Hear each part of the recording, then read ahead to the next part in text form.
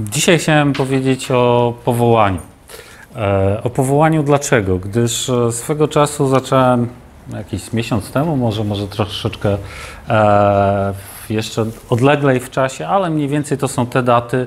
Zacząłem czytać Księgę Jeremiasza. Jak wiecie, ja lubię Stary Testament i, i zawsze mówię, że to, co jest w Starym Testamencie, jest odbiciem, jest odbite w Nowym Testamencie i tylko trzeba czytając Stary Testament, łapać te rzeczy, które e, mówią do nas e, i które są do zastosowania w naszym obecnym, dzisiejszym e, życiu tutaj dzieci Bożych 2000 lat po tym, jak e, przyszedł e, Jezus Chrystus na tą ziemię, jak zmarł za nas, jak zmartwychwstał i jak wstąpił do e, Ojca. I czytając tą bądź co bądź grubą księgę Jeremiasza, jeszcze do końca nie doszedłem bynajmniej, e, zauważyłem, mm, to znaczy bardzo mnie uderzył pierwszy rozdział tak naprawdę bardzo mnie uderzył z tego względu, że to wszystko, co było później, to jest tak, można powiedzieć, mniej lub bardziej na jedno kopyto. To znaczy, Jeremiasz mówi o tym, że, e, że woła za Izraelem, Izrael nie chce wrócić do Boga, nie chce iść za Bogiem, oddalił się od Boga. Jeremiasz został posłany ku temu, żeby e, sprowadzić z powrotem Izraela, no ale Izrael jest krom, trudne słowo, e, i nie chce nie chce wrócić do e, swojego e, powołania, do swojego przeznaczenia. Ale ta księga, e, a konkretnie pierwszy jej rozdział, bardzo uderzył mnie w oczy, mianowicie, bo Bóg powołał Jeremiasza do wykonania określonej rzeczy. I tak od tego czasu, kiedy Czytam tą księgę, e, cały czas e, gdzieś tam po prostu myślałem o powołaniu, o różnych aspektach powołania, e, co to jest powołanie i stwierdziłem, że w końcu Andrzej mi napisał, żebym, żebym przygotował coś, to stwierdziłem, że przygotuję na ten temat, bo to jest temat, który mnie rusza, dotyka i, i, i, temat, który e, sam stwierdziłem, że sam dla siebie też zgłębię mocniej. A w związku z tym e, dzisiejsze nauczanie nazywa się powołanie. E, I tak naprawdę stwierdziłem, że zacznę od samego początku, żeby rozszyfrować w ogóle, co to jest co to oznacza w ogóle w polskim języku, bo polski język to bardzo trudny język, przynajmniej dla obcokrajowców. E, I e, słowo powołanie jako takie, już abstrahując od e, spraw jakichś tam mm, duchowych, można rozbić na dwie części. Ja akurat szukając w internecie znaczenia tego słowa, trafiłem na bardzo fajną stronę, stronę miłośników krzyżówek gdzie jeżeli jest jakiś wyraz, to od razu pojawiają się wyrazy podobne. Jeżeli pada jakieś hasło w krzyżówce, to można te wyrazy podobne zastosować i o to może chodzić. I e, co tam było takiego ciekawego e, napisane? Mianowicie po, czyli po czymś, czyli coś musi nastąpić przed, czyli powołanie, czyli po wołaniu, czyli wołanie lub też apel lub też głośna prośba o pomoc.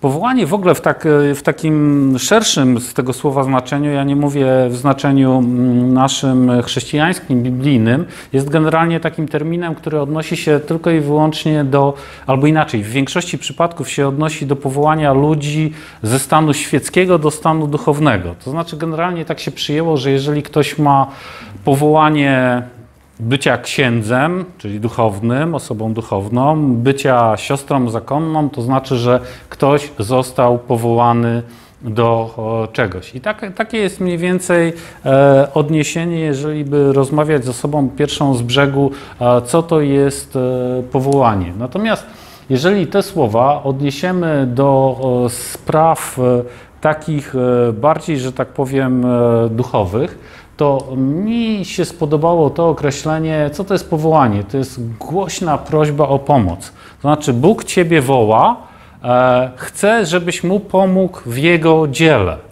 on nie może beze mnie, bez ciebie wykonać pewnej pracy, a w związku z tym woła ciebie i powołuje cię do wykonania e, czegoś. E, w e, słowniku języka polskiego też e, jest taka definicja, że jest to e, zdolność lub przeświadczenie jakiejś osoby o tym, że wybrana droga życiowa jest dla niej, dla niego najwłaściwsza. E, Można powiedzieć, że ktoś czuje coś wewnętrznie, że w tym kierunku powinien iść, tą drogą powinien zmierzać, a w związku z tym, a w związku z tym no po prostu idzie. Idzie, bo ta droga życiowa jest dla tej osoby e, najwłaściwsza i jest też pewnego rodzaju e, darem. To znaczy, tutaj akurat e, mam też, co to znaczy powoływać. Bardzo podoba mi się to, ustanowić, stworzyć, zorganizować coś, wezwać kogoś do pełnienia służby. Tutaj w nawiasie dałem służby wojskowej, bo przeważnie w powołanie e, kiedyś bynajmniej, kiedy był e, powszechny pobór, e, albo w jeszcze, w jeszcze wcześniejszych czasach, w których my bynajmniej nie żyliśmy, powołanie na jakąś wojnę, na, do, do armii wskutek, że tak powiem, zagrożenia, lub Powołać to, to też oznaczy wyznaczyć kogoś do pełnienia jakiejś funkcji, do objęcia jakiegoś konkretnego stanu wiska. I teraz e, też e, jest jedna ważna rzecz, że jest to pewien dar, który manifestuje się tak naprawdę e, przez większą część e, życia. I jest, jako że to jest dar, to przeważnie e, tego typu rzeczy są robione bardziej e, z pobudek altruistycznych, czyli ktoś ze względu na coś, coś robi, ale nie patrzy w tym wszystkim na siebie, bo e, rzadko kiedy za powołaniem idą finanse, idzie ta strona ekonomiczna, chociaż ona jest e, dopełnieniem e, tego wszystkiego. I chciałem Wam przedstawić trzy momenty powołania ludzi ze Starego Testamentu, ludzi, których historię znacie i, wielokrotnie, że tak powiem, słyszeliście i, orientujecie się. Natomiast chciałem wyszczególnić e, pewne charakterystyczne rzeczy, które e, dotyczą e, powołania tych osób i wypełnienia obietnicy, która wiązała się e, z powołaniem. I tak e, pierwszą e, taką osobą, która, mm, o której chciałem powiedzieć, jest Abraham. Ten Abraham, e, do którego e, Abram najpierw, bo później Bóg mu zmienił imię, e, do którego Bóg powiedział, że będzie miał syna, będzie, a je- jego dzieci będą tak jak, będzie ich tak wiele jak gwiazd na niebie i jak piasku nad e, brzegiem morza. Tylko był jeden problem. Abraham był stary, miał 80 lat, Sara była stara, nie mieli dzieci. 80 lat, no to to już. No stara. Starsza. W podeszłym wieku. O, dyplomatycznie kompromis osiągnęliśmy. E, w podeszłym wieku. E, no i co? No i e, jeszcze Bóg zmienił imię Sary jako matki wielu narodów. E, jeszcze wskutek tego wszystkiego e, Abraham musiał wyjść z tego miejsca, w którym mieszkał, z całym swoim dobytkiem, z całą e, służbą, bo Bóg dał mu obietnicę, która wcześniej była też w jego sercu. Mianowicie nie miał dziedzica, nie miał kogoś, kto odziedziczy po nim cały jego majątek, a był człowiekiem bardzo, bardzo zasobnym. I teraz mamy całą historię Abrahama, jak e, Abraham e, jak mija rok po roku, rok po roku, rok po roku, Bóg go powołał, e, ale okazuje się, że tego dziedzica nie ma, ciągle nie ma. A w związku z tym Abraham za namową swojej żony zaczyna trochę kombinować, to znaczy żona podsuwa mu niewolnicę, e, rodzi się Ismael i, i, i z powodu Ismaela Żydzi do tej pory mają problem, bo e, potomkowie Is Ismaela, to można tak w bardzo dużym skrócie powiedzieć, to są współcześni Arabowie, a Arabowie są z gruntu nastawieni negatywnie do Żydów, no i co za tym idzie też do chrześcijan. Cóż, wyprodukował coś o swojej woli, wyprodukował kogoś o swojej woli. E, mm, było to w, tam w którymś kolejnym roku e, tej, e, tej obietnicy. I tak naprawdę nic się nie działo. Nic się nie działo przez 20 lat. 20 lat musiał, musiał Abraham czekać na swojego potomka, ale Abraham musiał cały czas wykonywać e, pewne rzeczy. To znaczy, gdyby Abraham nie wyszedł, gdyby e, Bóg, gdyby nie rozmawiał z Bogiem, gdyby Bóg go nie prowadził, gdyby nie słyszał Bożego głosu i nie wykonywał tych rzeczy, które Bóg mu zalecił, to powołanie w żaden sposób by się e, nie wypełniło. I dopiero po 20 latach od momentu, kiedy Bóg określił, co, co oczekuje, a wiadomo, że dzieci też nie biorą się od bocianów, tylko stuletni staruszkowie też musieli niestety, znaczy niestety, ciężko to sobie wyobrazić, ale e, też niestety musieli seks uprawiać, żeby ich syn się e, pojawił. Natomiast musiał wykonać pewne rzeczy, e, które wiążą się z tym, że doszedł do tego momentu powołania, e, wypełnienia tego powołania, że z Abrahama e, powstał rzeczywiście naród wielki i Żydów na całym świecie. Jest rzeczywiście tyle jak gwiazd na niebie i jest rzeczywiście tyle jak piasek morski i nikt nie może tego, e, tego zliczyć. Mamy 20 lat od momentu powołania do momentu wypełnienia tego, e, tej obietnicy. Natomiast jeszcze później e, Bóg próbował Abrahama, to znaczy chciał, żeby złożył w ofierze swojego syna i tak dalej, i tak dalej. Znamy tą mm, całą historię. Natomiast bardziej bardziej według mnie taką karkołomną e, sytuacją e, życiową, kiedy ktoś zostaje e, powołany, jest Józef ze Starego Testamentu. Józef, wiadomo, miał 11 braci. Józef miał sny, sny, gdzie bracia mu się kłaniali, gdzie ojciec z matką mu się kłaniali i Józef wiedział tak naprawdę, będąc jeszcze młodzieńcem, to było mniej więcej w wieku 16-17 e, lat, gdzie, że coś Bóg dla niego szykuje, że e, jako jemu najmłodszemu będzie się kłaniało jego całe rodzeństwo, a wiadomo, że to raczej tak, tak nie funkcjonowało. I co więcej, będzie się mu e, kłaniało Kłaniał ojciec i e, kłaniała matka. Jaka jest, e, jaka jest Boża odpowiedź na to wszystko? Boża odpowiedź na to wszystko jest taka, że bracia wrzucają go do studni, ojcu mówią, że, e, że poszarpał go dziki zwierz, ostatecznie sprzedają Ismaelitom i trafia na targ niewolników, zostaje sprzedany do Potyfara. U Potyfara e, oczywiście dobrze służy, ale niesłusznie zostanie oskarżony przez e, jego żonę e, i, e, no i co? I ląduje w więzieniu. Boże powołanie.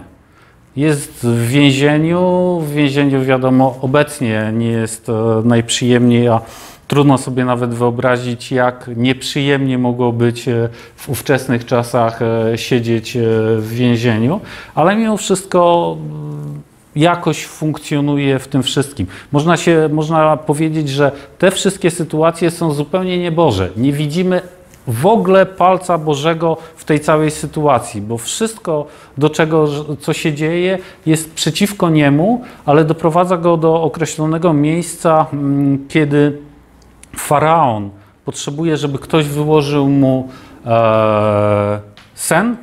E, jeden z byłych więźniów przypomina sobie o pamiętam, Podczaszy chyba sobie przypomniał, e, o e, tym, że e, Józef wykładał mu dobrze, wyłożył mu dobrze ten sen i zostaje ustanowiony naczelnikiem w, nad Egiptem, bo wyłożył sen o siedmiu latach urodzajnych i siedmiu latach głodu.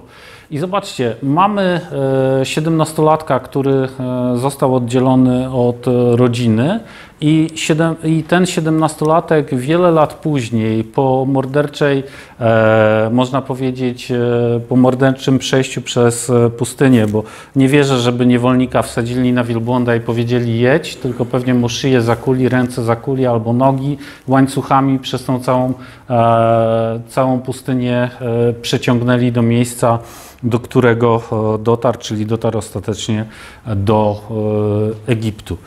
I Wiele lat później, kiedy mm, już poznaje Józef swoich braci, kiedy daje się poznać swoim braciom, kiedy przybywa jego ojciec, e, on zdaje sobie sprawę z tego, że tak naprawdę to wszystko miało sens. Miało sens i te luźno rozrzucone puzzle ułożyły się wreszcie w całość, bo po pierwsze uchronił wielu Egipcjan przed śmiercią głodową, być może państwo uchronił przed e, upadkiem, co więcej uchronił całą swoją rodzinę, sprowadził do ziemi Goszen i i osiedlił ich e, w Egipcie. Ziemia Goszen była ziemią bardzo, bardzo urodzajną i jak czytamy, e, czytamy później w Biblii, to wszelkie klęski, wszelkie plagi, które dosięgały Egiptu, zawsze omijały tą ziemię e, Goszen, gdzie, gdzie, e, gdzie byli jego e, bracia, potomkowie e, jego e, braci, gdzie też lud egipski e, lub lud żydowski e, bardzo, bardzo się mm, rozmnożył. I mamy jeszcze jedno powołanie, które jest tak naprawdę powołaniem przegranego człowieka. Powołanie Mojżesza, dlaczego mówię, że przegranego człowieka? Bo jak Józef trafił do Egiptu, trafił trafiła mu się dobra, że tak powiem, rzecz, która była od samego początku zainspirowana od Boga.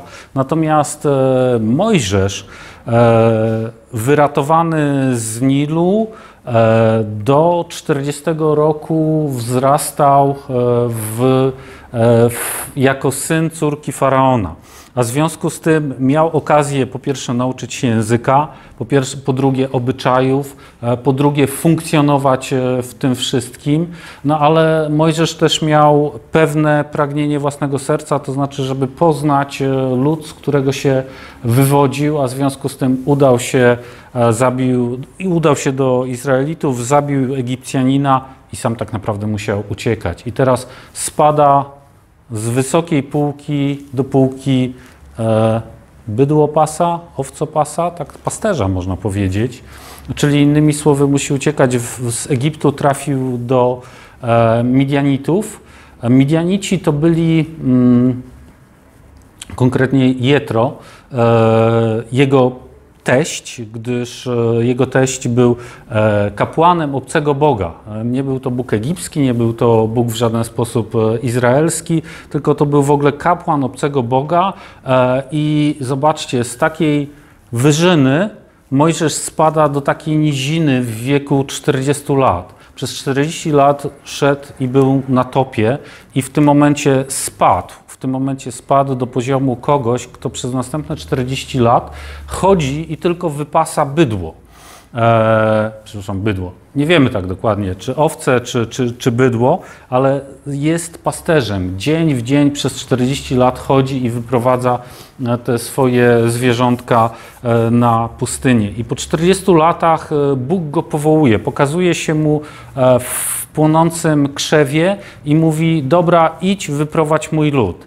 I zobaczcie, że te pierwsze 40 lat e, przygotowania Mojżesza, czyli wiedział, znał zwyczaje egipskie, znał język, wiedział jak się poruszać w tym wszystkim. Generalnie e, funkcjonował na najwyższym szczeblu, jeżeli chodzi o hierarchię władzy e, egipskiej. To było tak naprawdę przygotowanie po 40 latach Bóg go posyła w to samo miejsce. Już co prawda nie do tego samego faraona, ale w to samo miejsce. I e, Mojżesz e, przez 40 ostatnich lat swojego życia mógł mówić, że jego życie jest przegrane. Spadł, już się nie podniosę, już będę do końca życia wypasał te owce, już do końca życia będę w tej pozycji, w której jestem. Ale Bóg go podniósł z tej pozycji i ustanowił go przełożonym nad całym ludem, z którym nie miał wcześniej przez te 40 lat tak naprawdę nic do czynienia. I wielu biblistów mówi, że Mojżesz się jąkał. Ja myślę, że to troszeczkę inaczej wyglądało, bo jeżeli 40 lat bym mówił po niemiecku, drugie 40 lat e, bym e, mówił po angielsku i później Bóg by mnie posłał jako urodzonego w Polsce do Polaków, to też miałbym problemy z językiem i, i mogłoby to mogłoby to nie być w ogóle związane z tym, że, e, że e, się jąkam, tylko po prostu najzwyczajniej w świecie nie poruszałbym się tak biegle w języku polskim, jak obecnie się poruszam. I myślę, że to jest też, e, tak mogło być w przypadku Mojżesza, który obawiał się, że po prostu potrzebował ust, a w związku z tym Bóg dał mu Arona, który przemawiał do ludu w jego imieniu. Ale Bóg też, przez to, że był tym pasterzem, złamał go tak naprawdę, bo spadł tak nisko, że tylko mógł się odbić w górę. I Biblia mówi, że Mojżesz był najskromniejszym ze wszystkich ludzi, a jednak miał posłuch w tak wielkim, w tak wielkim e, ludzie i wyprowadził, e, i wyprowadził ten lud e, na pustynię. A jak wyprowadził na ten lud na pustynię, to wśród tego ludu był taki gościu, który nazywał się Besael. Besael mm, nie dostał powołania bezpośrednio od Boga.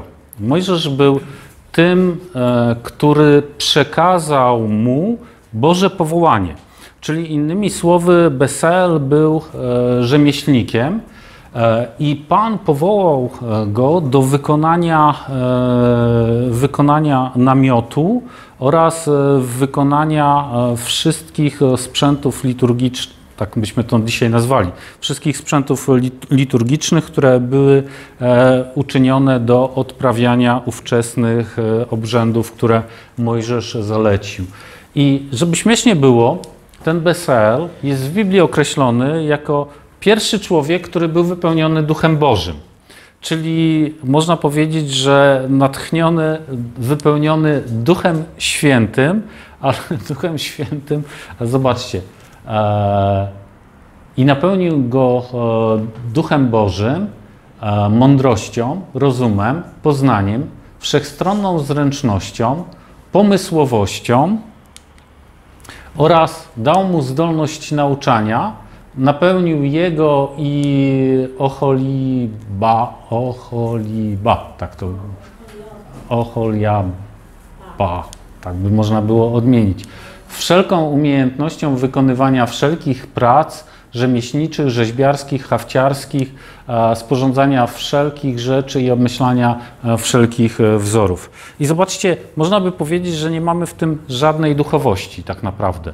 Nie ma w tym e, specjalnie duchowości, bo jeżeli nauczał, to myślę, że nie głosił kazania czy nauczania, tylko nauczał e, innych, jak szlifować te kamienie, jak ciąć te wszystkie tkaniny, jak je zszyć, jak robić odlewy ze złota, ze srebra, jak e, zbudować namiot, jak powinien wyglądać stół na chleby pokładne, a jak ewentualnie tutaj arka z tymi cherubami powinna być uczyniona do obmyślania wszelkich wzorów, czyli do wymyślenia tak naprawdę tego, co Bóg przez Ducha Świętego włożył jemu do e, serca. Można, można e, powiedzieć, że e, nie była to jakaś nie wiadomo jaka służba, ale szczerze powiedziawszy, przy okazji powołania jest to najszerszy tekst, jaki w Biblii znalazłem, który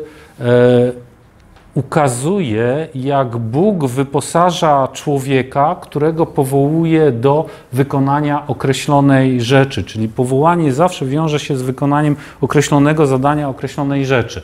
E, przyczep to teraz do siebie. Jeżeli Bóg Cię powołuje, to napełni Cię Duchem Świętym, napełni cię mądrością, rozumem, poznaniem, wszechstronną zręcznością w tym, co masz zrobić, napełni cię pomysłowością, da ci zdolność nauczania, bo jeżeli przeznaczy cię do zrobienia jakiejś jednej określonej czy wielu określonych rzeczy, to nigdy może inaczej, w większości przypadków, nie mówię, że nigdy, ale w większości przypadków nigdy nie będziesz, nie będziesz e, w tym sam, sama.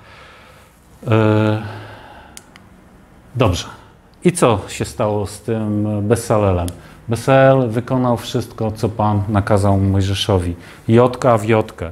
Nie musiał widzieć konkretnych wzorów, ale przez Ducha Świętego, zainspirowany pomysłowością, zainspirowany rzeczami, które Bóg mu wkładał jako rzemieślnikowi w serce, był w stanie wykonać zupełny e, Boży plan. No i teraz tak, mamy przykłady ludzi, cztery przykłady ludzi, którzy po pierwsze, e, trzech z nich bardzo długo czekało na wypełnienie się tego powołania. Jeden został powołany nie przez Boga, tylko tak jakby pchnięty przez Mojżesza do wykonania e, pewnej pracy. To znaczy Bóg powiedział Mojżeszowi, a Mojżesz przekazał to dalej i on za tym e, poszedł. I teraz e, zobaczcie, z czym, kiedy tak naprawdę człowiek, każdy z nas zostaje powołany. E, jest to z księgi Jeremiasza, nie ten, nie, nie mm, ucięło tutaj kawałek. E, Jeremiasz, początek tej księgi, o której wspominałem na początku, jak zacząłem mówić, Bóg mówi do Jeremiasza. Wybrałem Cię sobie, zanim Cię utworzyłem w łonie matki, zanim się urodziłeś, poświęciłem Cię na proroka narodów, przeznaczyłem Cię. No i oczywiście Jeremiasz ma problem z tym, bo jest młody, bo nie potrafi przemawiać jeszcze. Bóg mówi, że dotknie jego ust, że zajmie się tym i zobaczcie, jaką olbrzymią, olbrzymi zakres odpowiedzialności mu dał. Daje ci władzę nad narodami i nad królestwami, abyś wykorzeniał i wypleniał, niszczył i burzył, odbudowywał i sadził. E, szczerze powiedziawszy, e, dobrze jest tak konkretnie wiedzieć, jakie jest e, powołanie Boże, bo jest mowa o tym, że Bóg wybrał Jeremiasza jeszcze w łonie matki. A musicie pamiętać, że Biblia mówi o tym, że My, narodzeni na nowo, narodzeni z Ducha Świętego, którzy mm, przyjęliśmy Jezusa Chrystusa do swojego serca, Biblia mówi, że jesteśmy więksi, aniżeli e, w sensie duchowym, e, aniżeli każdy z bohaterów Starego e, Testamentu. A w związku z tym każdego z nas, można powiedzieć, jeżeli tamtych ludzi Bóg wybrał w sposób e, szczególny, to tym bardziej możemy przypisać do swojego życia te słowa. Utworzyłem Cię i tu do każdego, że tak powiem, z Was. Czyli Bóg utworzył Cię w łonie matki, zanim się urodziłeś, poświęciłem Cię e, i przeznaczyłem Cię. Natomiast tu kwestia tego, że musisz sobie to dopowiedzieć. To znaczy, musisz wiedzieć, do czego tak naprawdę Bóg cię przeznaczył, bo dopiero wtedy będziesz, e, będziesz w stanie wypełnić to e, powołanie, czyli innymi słowy, będziesz w stanie dobrać odpowiednie książki, dobrać odpowiednią społeczność, dobrać odpowiednich e, ludzi, których będziesz e, otaczał, będziesz ota e, którymi będziesz się otaczał, otaczała, dobrać odpowiednią pracę, dobrać odpowiednie miejsce zamieszkania w stosunku do tego. Zauważcie, że pierwszych trzech bohaterów Starego Testamentu, których przytoczyłem, zawsze powołanie wiązało się z tym, że musieli zmienić miejsce zamieszkania. Ja nie mówię, że to jest standard, ale akurat w ich przypadku tak było. Natomiast wtedy, kiedy wiesz, do czego cię Bóg konkretnie powołał, wtedy jesteś w stanie podporządkować się tej woli, oczywiście z własnej woli, nikogo nie przymuszonej, bo Bóg nikogo nigdy nie przymusza. A Ezechiel, znowu obcięło tutaj górę, pisze coś takiego, że Pan powołał mnie od poczęcia od łona matki i nazwał mnie po imieniu. Czyli Bóg e, powołuje, sprowadzając nas na ten świat, powołuje nas do konkretnej rzeczy, tylko my musimy dojść do tej rzeczy w różny sposób, być może do której jesteśmy przeznaczeni. I tak jak Jeremiasz e, mówił e, o tym, żeby burzył i tak dalej, i tak dalej, tak Bóg powiedział, że e, jego celem jest nawrócić Jakuba i Izraela z powrotem do Boga.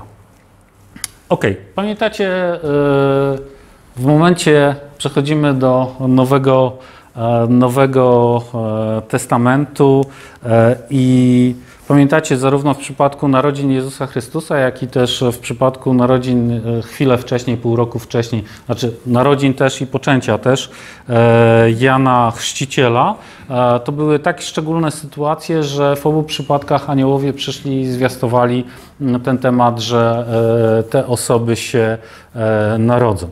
I tak naprawdę o Janie Chrzcicielu do momentu, dopóki wystąpił, tak samo zresztą jak w przypadku Jezusa, nie wiemy wiele, ale jak już e, wystąpił, to bardzo mi się podoba dialog, który e, Jan Chrzciciel odczynił, e, odczynił uskutecznił z,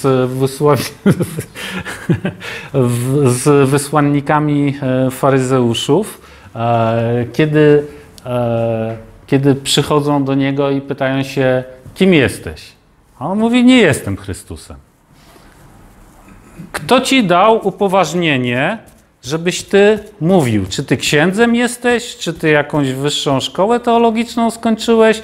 Kim ty jesteś? Kto cię do tego upoważnił, żebyś ty w ogóle mówił takie rzeczy? Z takim pytaniem możecie się, e, możecie się e, spotkać. Kim jesteś? Nie jestem Chrystusem. Od razu odpowiada. Żydzi czekali na na Mesjasza, nie musiał tutaj artykułować nigdy więcej o co chodzi. Kim więc? Eliaszem jesteś? Nie jestem. Prorokiem jesteś?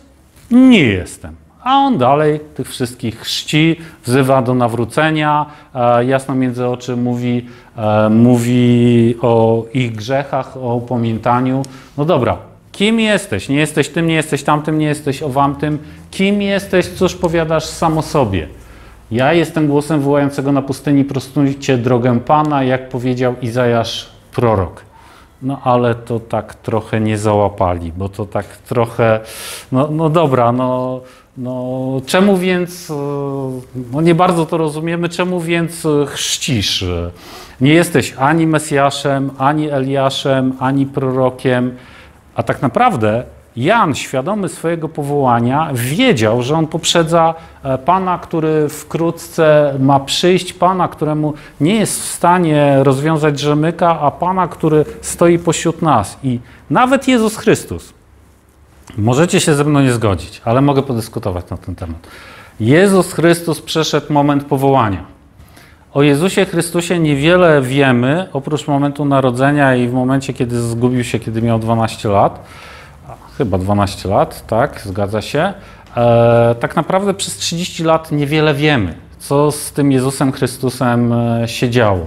I Jezus Chrystus przychodzi do e, Jana Chrzciciela, chrzci się i dopiero od tego momentu następuje jego powołanie. Od tego momentu rozpoczyna się jego służba. E, to jest syn mój umiłowany, którego sobie wybrałem. Tak mniej więcej brzmi chyba ten tekst. E, I Jezus 30 lat będąc w cieniu, przez 3 lata dokonuje więcej, aniżeli przez 30 lat swojego dotychczasowego, e, dotychczasowego życia. Dobrze, przytoczyłem wiele e, przykładów, wiele rzeczy, które, które dotyczą konkretnych osób. Teraz Teraz pora przypisać to do, do mnie, do ciebie, przypisać to personalnie, bo jeżeli Bóg daje ci powołanie, to to powołanie jest e, nieodwołalne. To znaczy, Bóg głośno woła do ciebie, tak jak e, na jednym z pierwszych slajdów e, powiedziałem, Bóg woła do ciebie, Bóg głośno krzyczy za tobą i pytanie jest tylko, czy ty wchodzisz w to powołanie, do którego Bóg cię woła. Czyli innymi słowy, ty musisz odpowiedzieć na to wołanie i powiedzieć: Dobrze, panie, ja wchodzę, nie wiem dokładnie być może w co wchodzę, bo myślę, że Jakub, e, przepraszam, Józef, myślę, że Józef, gdyby wiedział, co oznaczają te sny i jak to się później skończy dla niego, to myślę, że raczej chyba nie wszedłby w to powołanie. Myślę, że e, Mojżesz to już nie miał nic do stracenia, bo Mojżesz to już i tak i tak e, był stracony, ale Abraham bardzo czegoś pragnął. 20 kolejnych lat życia poświęcił po to, żeby to e, osiągnąć. I teraz tak, jeżeli masz pewne powołanie, to pamiętaj, że koło siebie widzisz też osoby, które być może nie są nawrócone, ale też które mają powołanie do jakichś określonych rzeczy i Bóg e, być może właśnie dlatego e, takie stworzył, żeby e, te rzeczy służyły Jemu ku chwale. Czyli innymi słowy, mm, jeżeli ktoś dobrze śpiewa w świecie, taki przykład, pierwszy z brzegu, który mi przychodzi do głowy, jeżeli ktoś dobrze śpiewa w świecie albo jest dobrym muzykiem, to Bóg nieraz e, po powołaniu wykorzystuje ten dar, tą umiejętność, żeby, żeby ten człowiek wskoczył na właściwy tor swojego powołania i żeby szedł za tym przez dalszą część e, swojego życia. Ja bardzo, mm, bardzo temat okultyzmu, e, że tak powiem, dobrze znam, zgłębiałem, sam w tym siedziałem i wiem, że ktoś, kto dobrze funkcjonował w okultyzmie i w darach okultystycznych, jeżeli się nawróci, jeżeli się wyrzeknie, jeżeli będzie pokutował, to też bardzo łatwo wejdzie w te dary duchowe, bo to jest pewnego rodzaju powołanie i będzie pragnął tego i będzie w kierunku nie imitacji bożych darów, które szatan daje, tylko w, w kierunku do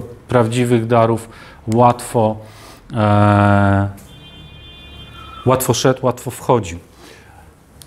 Paweł pisze e, w liście do Efezjan, abyśmy postępowali tak, jak przystoi na powołanie wasze, czyli to jest mniej więcej to, o czym mówiłem, żeby ścieżka naszego życia była wyznaczona przez nasze powołanie, a my z pokorą, łagodnością, cierpliwością, zgodnie, znosząc jednych drugich w miłości, starając się zachować jedność ducha e, w spójni pokoju i tak dalej, która należy do naszego e, powołania. Czyli innymi słowy, żebyśmy w to weszli i żebyśmy w tym trwali i e, szli.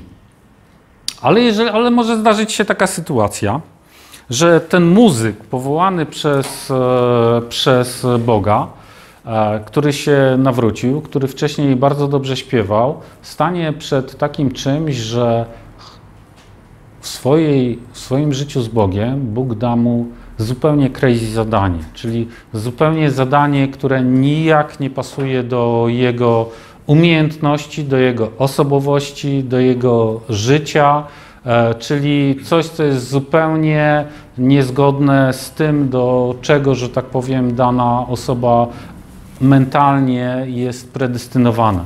Na pewno to nie będzie na początku tej ścieżki e, z Bogiem, ścieżki chrześcijańskiej, tylko Bóg obdarował nas wszystkim, co jest potrzebne do życia i do pobożności przez poznanie Jezusa Chrystusa, przez tego, który nas, e, który nas powołał.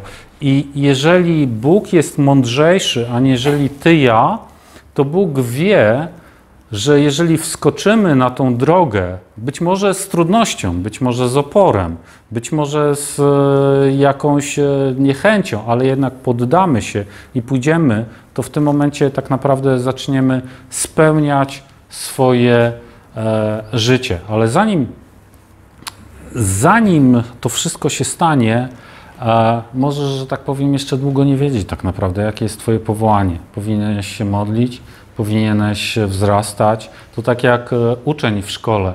Nie każdy od razu idzie na studia, tylko żeby pójść na studia najpierw trzeba skończyć podstawówkę, później szkołę średnią i później dopiero iść na studia, a dopiero na poziomie szkoły średniej mniej więcej podejmujesz decyzję, w jakim kierunku zawodowym chcesz iść i wtedy wiesz, na jakie studia pójdziesz. A w związku z tym musisz skończyć 8 lat 8 klas e, podstawówki. E, 2-3 lata a, szkoły średniej, żeby podjąć decyzję, dobre, w którym kierunku masz iść. I analogicznie, Bóg przez ileś lat może Ciebie budować, żeby w pewnym momencie Ci objawić, o, jak Abrahamowi w wieku 80 lat, o, jak Mojżeszowi w wieku 80 lat. Dobra, jesteś gotowy, let's go, idziemy. Tylko pytanie, czy odpowiadasz na to. I to nie na podstawie naszych uczynków, lecz na podstawie postanowienia swojego i łaski, czyli na podstawie tego, że ktoś jest mądrzejszy od ciebie, ktoś jest. E, ktoś, kto cię stworzył w łonie swojej matki, ktoś, kto zaplanował, jest, e, jest e, mądrzejszy, aniżeli twoje nawet same pojmowanie samego siebie. I e, też ma, Paweł definiuje sam siebie, a znamy życie apostoła Pawła, że został ustanowiony apostołem, zwiastunem, apostołem i nauczycielem. Jeżeli nie znasz swojego powołania na dzisiejszą chwilę, a nie przejmuj się, jeżeli będziesz wzrastał, jeżeli będziesz wzrastała, na pewno Bóg ci pokaże to powołanie. Ale jeżeli mam coś powiedzieć, tak podsumowując to wszystko, to zostań w tym momencie swojego życia, w którym jesteś. To znaczy, e, Paweł pisze do e, Koryntian, że byłeś obrzezany, nie ukrywaj obrzezania. Miałeś jakąś przyszłość, miał, przeszłość, miałaś jakąś przeszłość, nie ukrywaj tego. E, byłeś w chwili powołania. Powołania w tym sensie to jest bardziej w sensie nawrócenia się, przyjścia do Boga. Byłeś nieobrzezany? Nie obrzezuj się.